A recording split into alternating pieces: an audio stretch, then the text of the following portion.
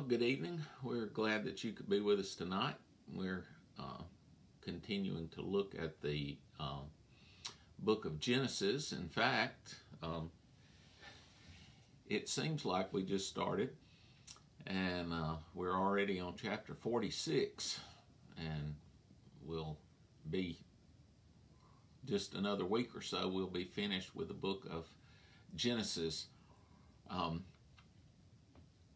I had a thought of uh, doing the book of Revelation sort of from one end to the other. Uh, I don't know for sure yet, but be in prayer about that, and we'll we may just look at the beginning and the ending. I think both are encouraging to know that we came from God and to know through Christ that we can go to Him again uh, through what Christ has done. So there is comfort uh, in uh, both Genesis, uh, well, the whole Bible, but in both Genesis and Revelation. So uh, if you have your Bibles, look to Genesis chapter 46, and I'm gonna uh, I'm gonna skip around. Um, I won't read the whole chapter, but I will read a few verses uh, on either side of those names. Uh, we have a list, sort of a miniature genealogy. We're going to talk about those names, but we're not. I'm not going to read them all to you. So, if you have your Bible, turn to Genesis chapter 46, and we'll begin reading with verse 1. If you remember, um, Joseph has revealed himself to his brothers. Um, he sends them back to Canaan to get Jacob and bring him and all the family. And the chapter 46 is the story of that. Um, I'm going to call the message tonight Living by Faith. Um, we talked about from chapter 37 on basically that Genesis is a uh, Joseph is the main character, but in chapter 30 uh, in chapter 46 here we do have uh, a little more detail about Jacob, and we're going to look at uh, as his life here. So, Genesis chapter 46 and verse 1. and Israel took his journey with all that he had, and he came to Beersheba and offered sacrifices unto God, and the God of his father Isaac. And God spake unto Israel in the visions of the night, and said, Jacob, Jacob. And he said, Here am I. And he said, I am God, the God of thy father Fear not to go down into Egypt, for I there, for I will there make of thee a great nation. I will go down with thee into Egypt, and I will also surely bring thee up again. And Joseph shall put his hand upon thine eyes. Jacob rose up from Beersheba, and the sons of Israel carried Jacob their father, and their little ones, and their wives, and their wagons, which Pharaoh had sent to carry him. And they took their cattle and their goods which they had gotten in the land of Canaan, and came unto Egypt, Jacob and all his seed with him, his sons and his sons' sons with him, his daughters and his sons' daughters, and all his seed brought he with him into Egypt.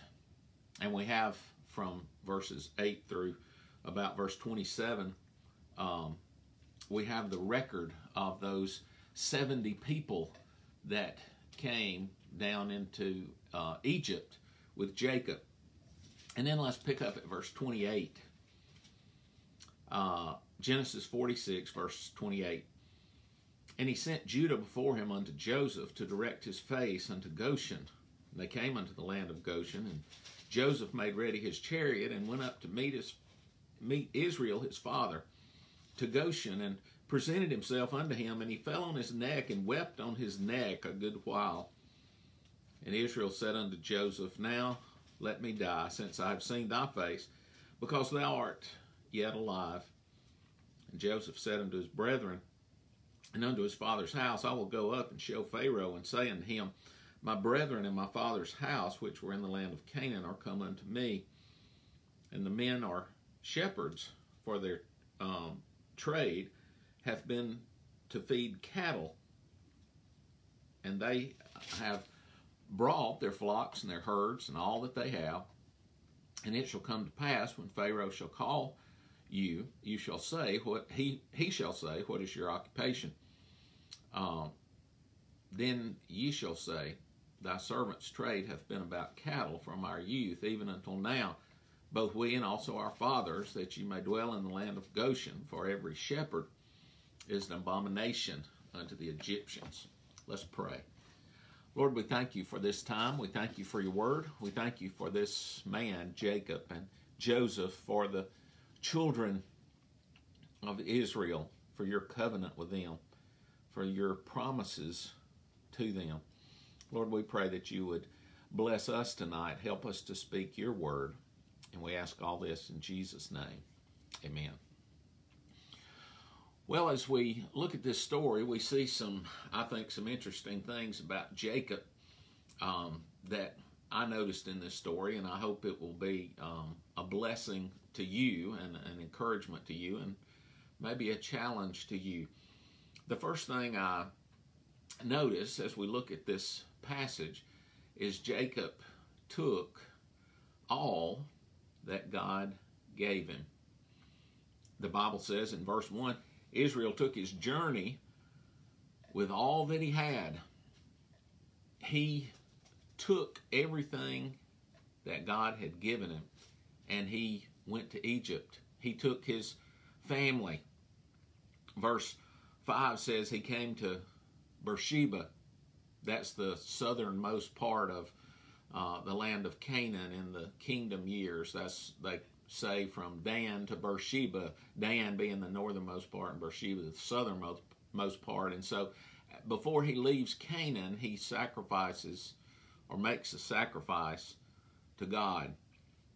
And well, we have both Israel, it says, and the sons of Israel carried Jacob, their father, their little ones, their wives, all that they had verse 7 says his sons and his uh, grandchildren, his daughters and his granddaughters, all that he had, all of his seed, it says he brought to Egypt. And then in verses 8 through 27, we have given in order the sons of Leah, uh, the sons of Zilpah, uh, Leah's maid, the sons of Rachel, and then the sons of Bilhah, Rachel's maid, the 12 children, and his daughter Dinah is also mentioned in that list.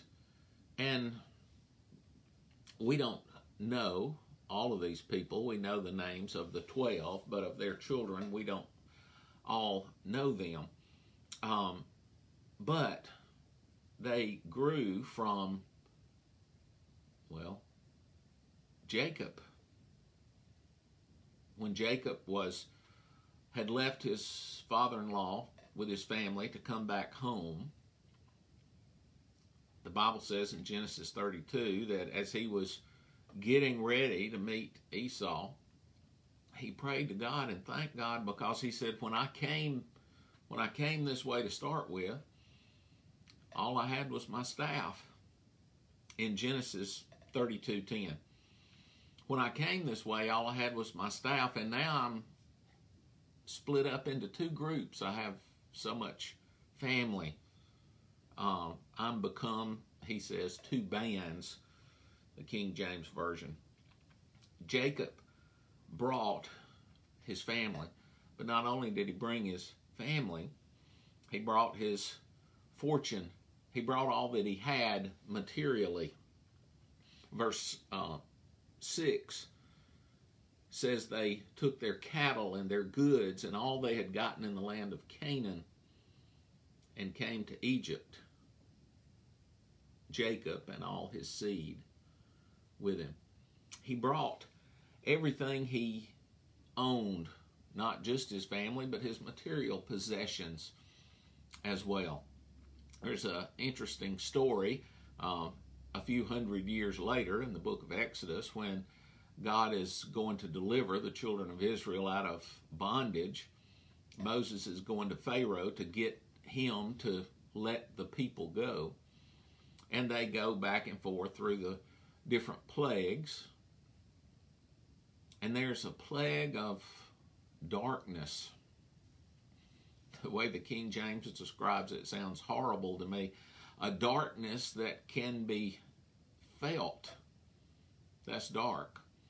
And it was after this darkness that, um, well, Pharaoh had tried to get Moses to compromise. Uh, you can leave Egypt, but don't go far. Just go out into the wilderness. And you can leave uh, Egypt and go out to worship God, but don't take your family with you.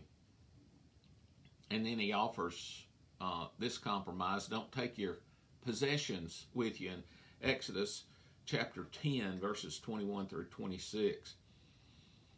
He, um, God sends the plague of darkness, and they couldn't tell where they were, but the Bible says all the children of Israel had light in their dwellings. And Pharaoh called Moses and said, Go ye and serve the Lord, and only let your flocks and your herds be stayed.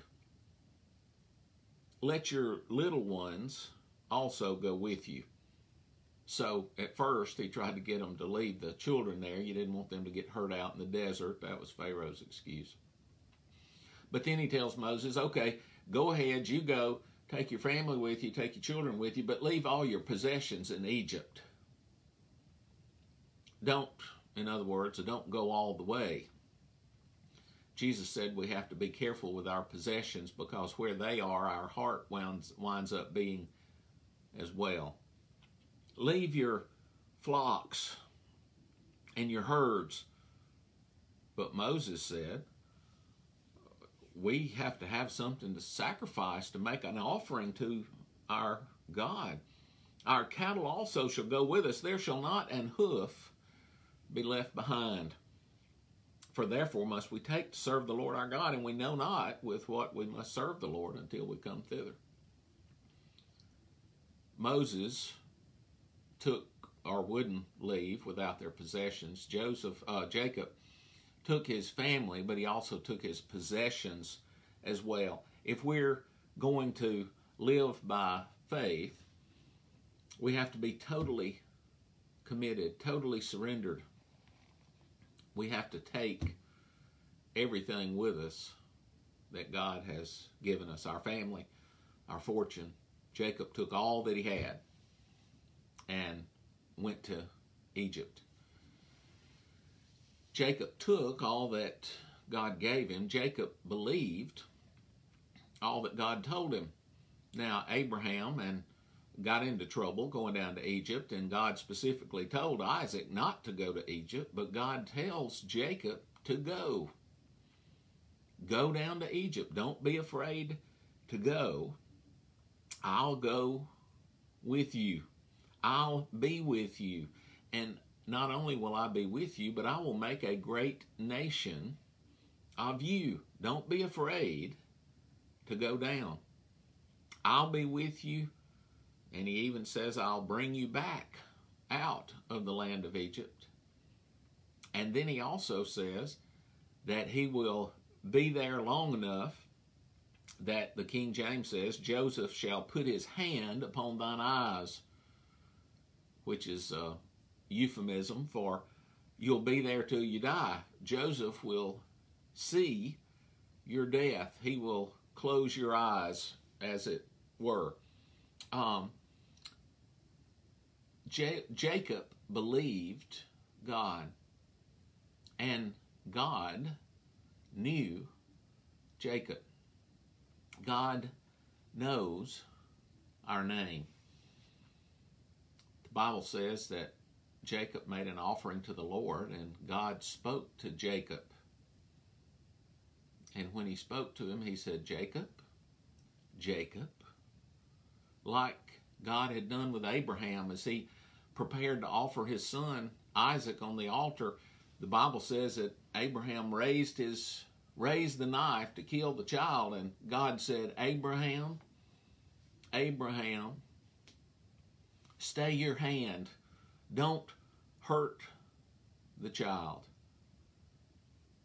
Like Martha in the New Testament. Mary sat at the feet of Jesus and Luke chapter 10. And Mary was busy. She was having company. She was cooking and cleaning and worrying. And she said to Jesus, Make her get up and help me, if you'll forgive my inelegant translation. And Jesus said, Martha, Martha, you're so anxious.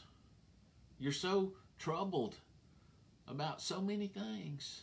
And he called her by name, like Saul when he was the Pharisee Saul who hated Christ and everything to do with Christ. And Jesus met him on the road to Damascus, and a light shone around him. And Jesus spoke to him Saul, Saul, why are you persecuting me?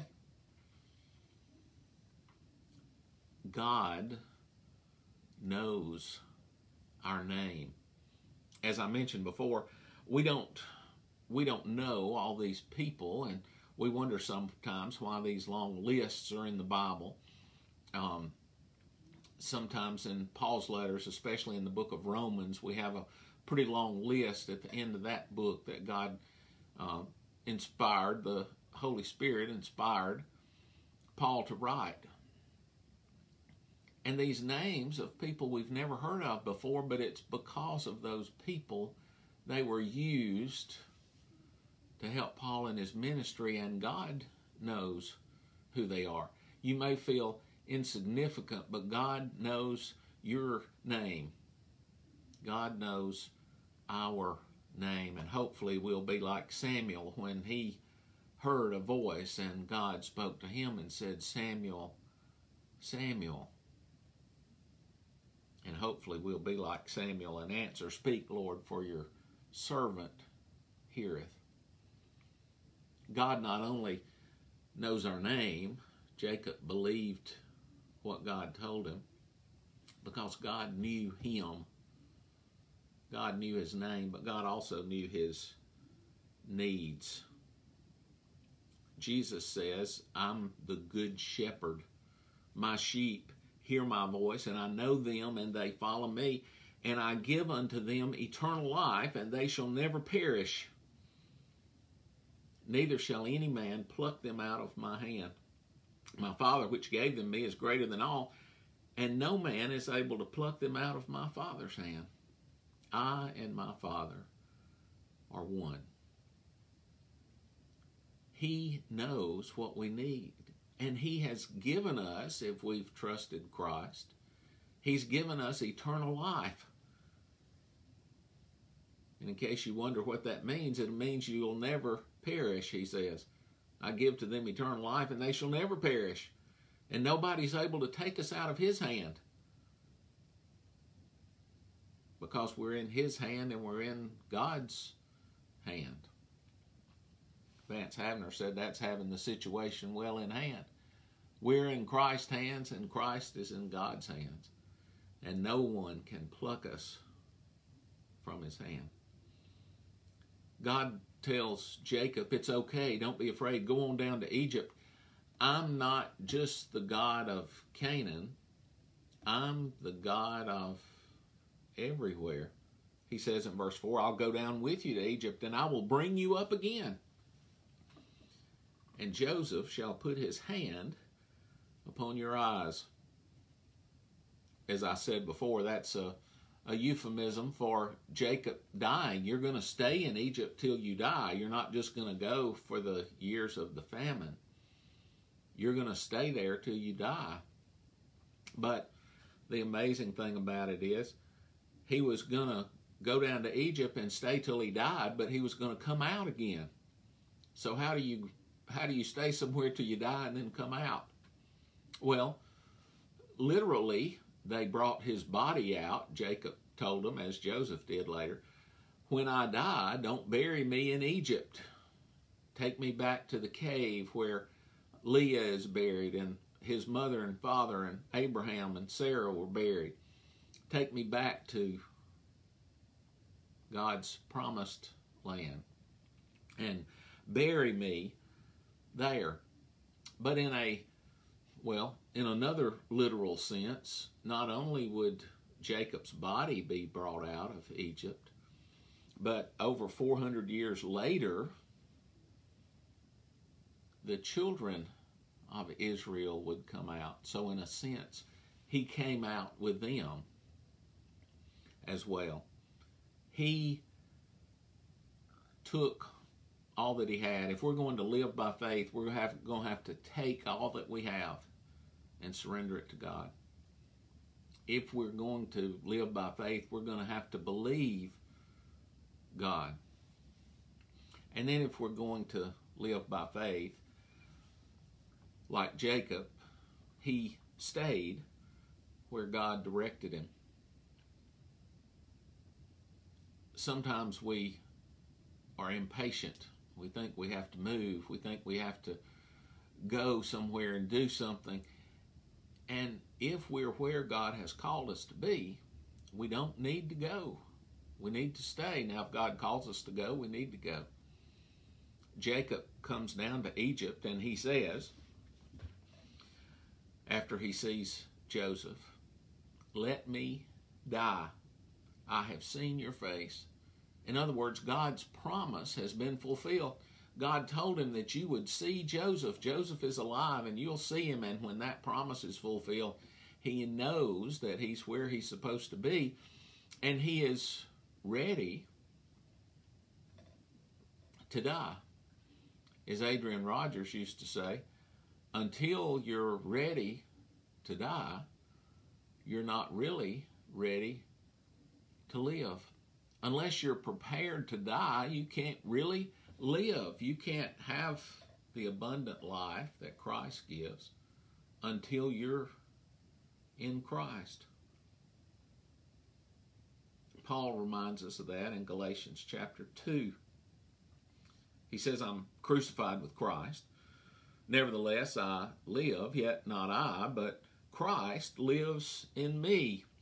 And the life which I now live in the flesh, I live by the faith of the Son of God who loved me and gave himself for me. I do not frustrate the grace of God. For if righteousness come by the law, then Christ is dead in vain. Christ died for us, Paul says in Romans chapter 6. Christ died for us, and we're to die to sin. Paul says in Romans 6. Knowing this, that our old man is crucified with Christ, that the body of sin might be destroyed, that henceforth we should not serve sin. If we're dead in Christ, then we can't serve sin because that old man died. Paul says, For he that is dead is freed from sin.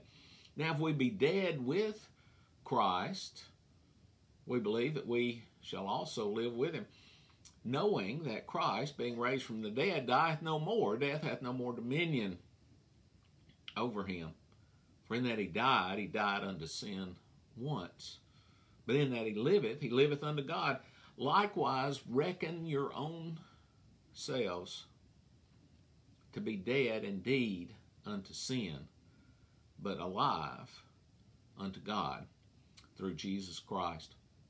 Jacob, like Simeon, we just talked about him at Christmas time. When God's promise was fulfilled to him, he said, Now let your servant depart in peace. It had been revealed to Simeon that he wouldn't die until he saw the Lord's Christ to see the salvation of Israel. And he saw it and he said, I'm ready. I'm prepared. I'm where you want me to be. Whatever you need, whatever you want me to do, I'm here. I'm where you want me to be. I am dead to myself, dead to sin, so that I can live, or that so that Christ can live in me. That's the way we're to live, if you will, as Christians. We have to die to live. We have to die to ourselves. And that's the only way that we can function, if you will, as Christians, is if we die to ourselves. Jesus said, If any man will come after me, let him deny himself. Luke says, daily, and take up his cross and follow me. What do you take up a cross for? A cross is for execution. Paul could say, I die daily. Jacob died when he went to Egypt. Eventually, he did. He actually lived 17 more years, but he lived in faith. And if we're going to live by faith, we have to die to ourselves, to count ourselves dead, if you will. One of the movies, series, whatever it is, that I like, it has very bad language in it. Um, I think it was probably accurate. It's about World War II, and I think it was pretty accurately portrayed. The series was called Band of Brothers, and it was about the 101st Airborne Division in World War II.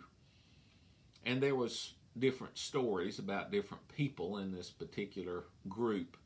Um, I think it was the 501st Parachute Infantry Division uh, or infantry, infantry Regiment of the 101st Division. But anyway, there was uh, one of the characters in that series that it talked about was a Private Blithe, Albert Blithe. And he was not or couldn't function as a soldier. One of the leaders of one of the companies, one of the lieutenants, met him one night as they were preparing for a battle the next day. And he told him when we parachuted into Normandy on D Day, I landed in a ditch and I was by myself. And he said, I don't know if it was those air sick pills they gave us or what, but I just went to sleep in that ditch. And I didn't really get up and look for anybody. I didn't try to find my unit. And the Lieutenant Speirs asked him, Do you know why you hid in that ditch, Blithe? He said, I was scared. Lieutenant Speirs said, We're all scared. He said, You hid in that ditch because you think there's still hope. But Blithe, the only hope you have is to accept the fact that you're already dead. And the sooner you accept that, the sooner you'll be able to function as a soldier is supposed to function without mercy, without compassion, without remorse. All war depends upon it. If I could say, our Christian life depends upon it. For us to be dead to ourselves, to count ourselves dead that we might, or that Christ might live in us. That's the only way we can function. To live by faith, to take everything that God has given us and surrender it to Him, to believe everything that He has told us, and to live for Him, to go where He directs us without fear, to face our own sinfulness, if you will, to use Lieutenant Speirs' words, without mercy, without compassion, without remorse. Because if we don't put our sinful self to death, our sinful self will put us to death. So, are we living by faith as Jacob did, as Joseph did? If we are, we'll have to surrender. We'll have to take all that we have. We'll have to believe all that God says. And we'll have to be obedient to where He calls us to go. Let's pray. Lord, we thank you for this time. Thank you for your word. Thank you for Jacob and Joseph, the patriarchs. We pray that you would help us to live by faith, that we would give, surrender all that we have, that we would believe you, and that we would be obedient to your word. We ask all this in Jesus' name. Amen.